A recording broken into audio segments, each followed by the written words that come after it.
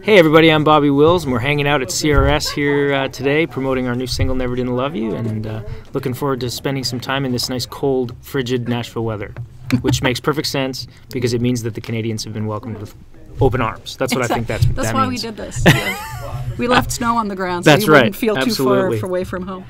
The so you mentioned the new single for the U.S. market, "Never Didn't Love You," and the very first time I listened to it, I got about toward the end, and, and I thought, apology song, breakup song. Oh both? yeah, both. Um, it's funny that you say that. I always laugh because not everybody realizes that women and men don't communicate the same way. I think people know that. But uh, we were having that moment when we were writing, and it was. I'd had a conversation with my wife that was along those lines of, you know, you need to communicate better because I need to hear it. And I thought, well, I think I say it every day, don't I? You know, and so the boys, we were writing that morning and we were having a coffee and having that discussion. And somebody said, it's not like you never didn't love her. And the double repetitive of that, like the, the it was just the double negative and everything was just me- made for the right title. Yeah, Yeah. totally. And it was, and it's such a universal feeling. I think. I think that men are men and women are women, and because of that, it's very, you know, it hits home for people. So Yeah, yeah, and I, Yeah. I just thought it was it made that song interesting because for a lot in a lot of songs they'll use the bridge to make it clear that either they've split up or they make Right. it clear that they're still together. But here you're not quite sure. And I think it makes that song much more interesting because it leaves something for it's almost like a, an ink blot test and the listener will get out of it what what they want it tells you something about how somebody interprets the song Yeah, that's my favorite thing about a well-written song is when you can make it your own and apply it to your life, where they don't tie everything off, so that you still can imagine your life in it. I we always I always talk about it, it's like if you're buying a house, when you go in to look at a house, if it's someone else's house, it's hard to get interested and excited about it because it's someone else's house.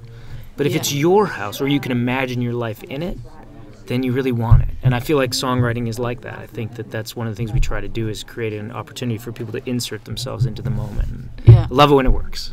Do you have a? Do you guys keep when you get rea- reactions or responses from audience to the, to the song? Do most people see it as the breakup song? Do most people see it as oh no, they're still together? He's just apologizing to her, and you know, It's all over. It's all over the shop. You know, we get a different different feedback from different audiences all the time. People see it differently, just like you said. Yeah, Yeah. So it's not consistent at all. yeah, that's Yeah. cool. I like that.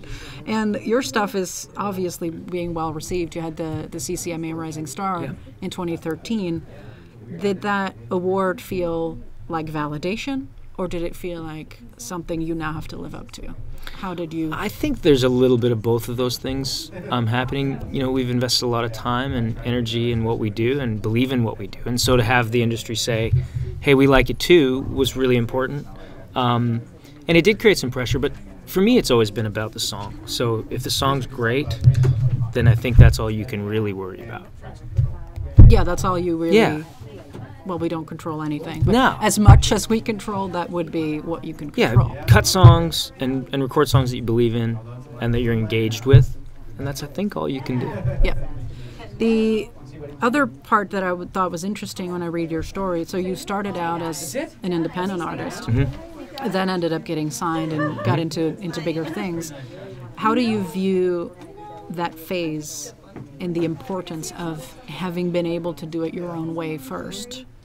I think the struggle um, is present in the music, and I think that's important. I think when when you've had to fight for something, and you've had to go through the ups and downs, and you've had the tough days, and then you've had some of the positives. I think that the art is what really grows, thanks to that. Um, I think sometimes, as hard as those days can be, um, when you're trying to climb and you're the indie and you're sort of trying to get some attention and fighting through it, I think it also makes you better because you have to be better. You Yeah, have to work harder. You have to outwork everybody. You have to write songs that matter, and you really have to work at that. So, I feel like that's the reason we're here. So, if someone said, "Hey, you know, what's that like? Is it worth it?" I would say, "Yeah, you have to do it." I think it's a rite of passage to get where you are artistically.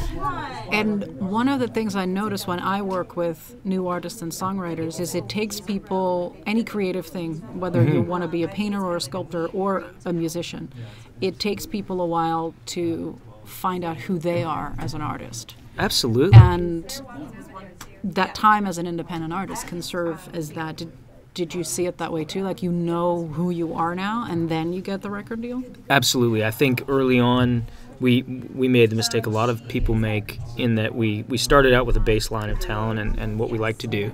Then we got kind of pulled on into the whole this is what you should do conversation. This is what your song should be, and this is what. And then we started to do that, and it didn't work. And so as a consequence, we circled back, and thanks to um, my producer and my and, and co-writing friends, Mike and Walt, the they we were able to get back centered to just looking after the music. And incidentally, when we started to just look after the music is when we got the deal and when everything started to take Yeah. off. So again, I think you find your voice, but I think you have to make some mistakes. Um, and then the 10,000 hour thing. Yeah. You know, I mean, I just think it's part of what it is. Some people start when they're 10, and, you know, some people Yeah. start later, but I think the timeline's the same. Probably, yeah. Usually, yeah. And it's almost because you use the word mistake, um, but I don't think they're mistakes. I think they're parts of that path. They're necessary Yes. phases you have to go through. Yeah. It's it's they're not mistakes. They're learning experiences. Yeah, you look back on it as a mistake in the sense that you know it wasn't going to work, but you didn't know then. But it also is what taught you to follow your own path and to be, uh, you know, genuine and be, and be authentic. Yeah. And I think that's the number one thing I've learned through that journey is just to, to just do what you do, do it to the best of your ability, and you know that's all you can do. Yeah. Put it out there like that. But it's often you'll see when you ask experienced artists, what would your advice be for new artists? They'll often go, just do your own thing and be authentic. And I think, Yep. Sure, but that's not what you you gotta find it because you had that phase of messing up. Absolutely. Don't you think that new artist needs to do that too? Yeah. The only It's- advice I ever give is this, and I think it's good advice. As good as you think you are today, if you keep working and you don't give up, you'll be better tomorrow. Yeah. And then if you do that again tomorrow, you'll be better on Friday. You know, Yeah. and I think that if you just stay with it and, and take the bumps along the way and find your voice, you can do it. I think most people, what separates success and, and failure in this business, or however you want to term that, is just that how long you're willing to fight. Yeah. I think sometimes. And often what I think is, what are you willing to give up for it? Yeah. How bad do you want Yep. it? And what are you willing to give up For for, sure. it? For sure. Do you feel that there have had to have been sacrifices? Yeah, there's been a lot of sacrifices. Um, How I'm, do you frame those in your life now? You know, it, it, it's it's always a balancing act to try to look at careers and and those measurements, and also look at your quality of life and your time with your family and stuff. So for me, um, the effort to date has been worthwhile, and we're just really conscious about honoring the family and making sure that we have those times. It's tough. It's really tough. You know, and sometimes, and as things get going and you're really excited about that, it actually gets tougher on the other side. So it's a balance, but I think, you know, who's if, it'd probably be better to ask my wife this question than me because I think they they have given up far more than I have. They've supported me through the travel, Yeah. you know, through the you know the, the it's not an easy way to make a living, all those things, and they've just been there. So Yeah. And I think it's important to have that person there, probably. oh, I wouldn't. No way I'm here today without the the my family, um, for a myriad of different reasons. Um, but mostly just those tough days when you get home and you're hanging your head, and you have that person that goes, "You're okay. You're okay. Just as you are. You're okay."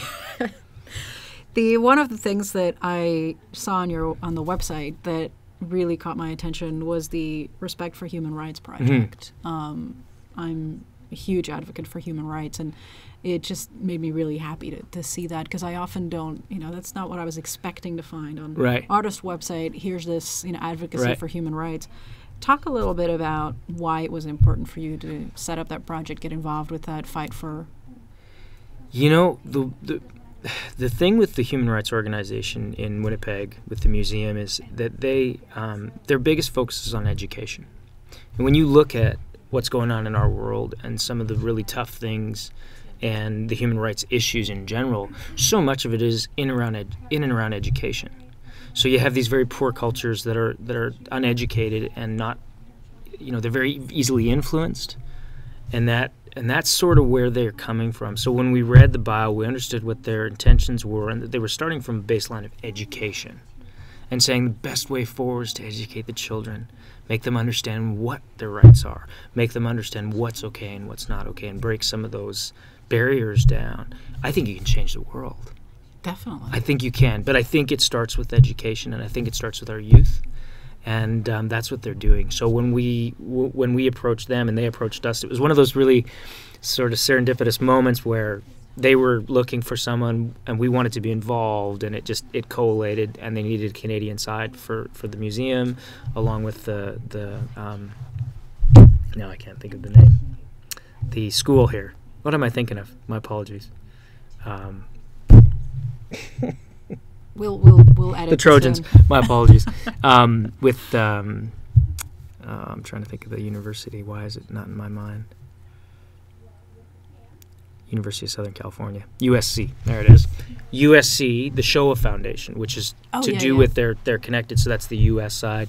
When that all came together, and their whole premise is to educate and monitor and watch out for um, human rights, it was like this is a no-brainer. This is Yeah. easy.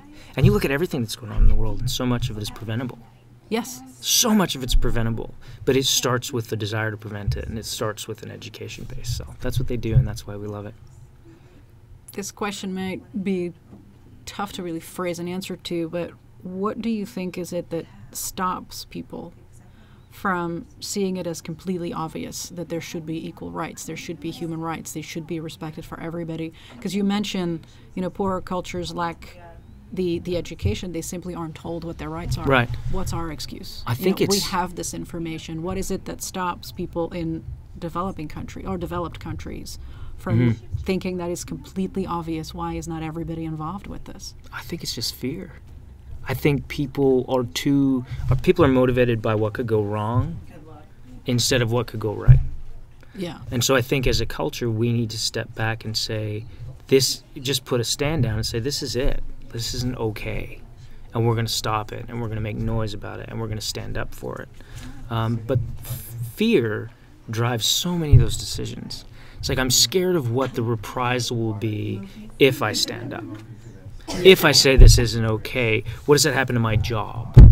Well, Yeah. How does it affect uh, how I'm viewed by popular media as a celebrity if I say yes or no? Yeah. And I think so. I think it's fear number one. Yeah. Probably right. Yeah. Yeah. And then um, let's end on a slightly lighter note. Okay. Which songs would you put on the soundtrack to your life?